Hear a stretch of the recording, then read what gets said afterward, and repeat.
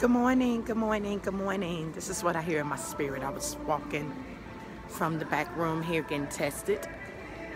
Make sure that my temperatures and stuff is okay. Because um, we got to have that before we can go to work. We don't want to be at risk or don't want to risk nobody with the COVID.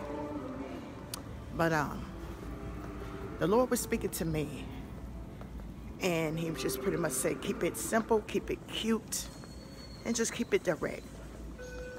White utility to lane seven, customer courtesy, please. White utility, lane seven. Keep it cute, keep it simple, keep it direct.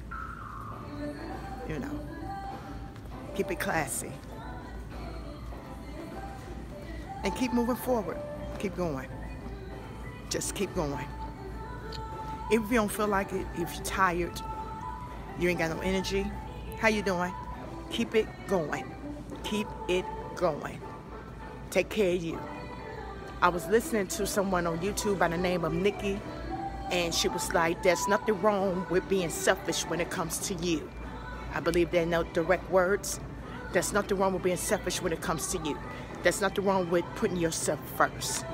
Me, the big heart that I have, I'm always looking out for people. That's what God gave me to do. But even with that, you got to have a balance. You got to have a limit. You got to know when to put yourself first. Never neglect yourself. I was too busy ripping and running, doing ministry, casting out demons, people getting delivered, healed, set free. And here it is. I'm overweight, type 2 diabetes, mouth jacked up, and by the grace of God, He kept me, He had me, He opened up doors for me to get oral surgery.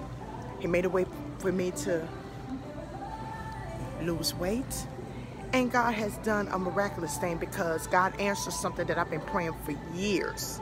So there's nothing wrong with putting yourself first. And that's what I'm doing. So y'all be blessed in the Lord. Bye-bye.